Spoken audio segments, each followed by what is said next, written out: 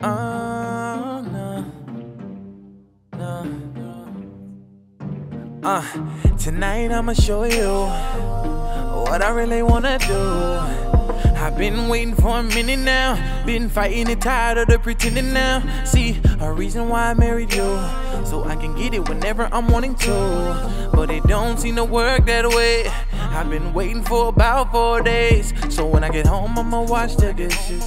I'ma take out the trash too, and after that, I'ma wash my body. I wanna smell real good for you, cause I know we've been beefing, fighting, and moaning whining, telling me what I don't do.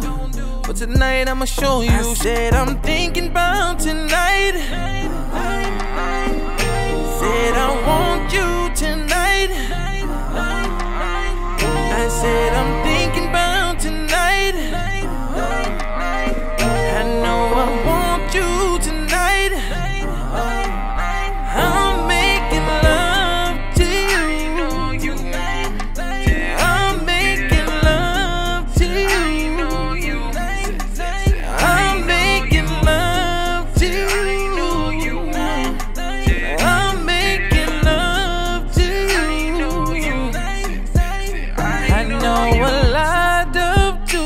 dudes out here that can't just please one girl. I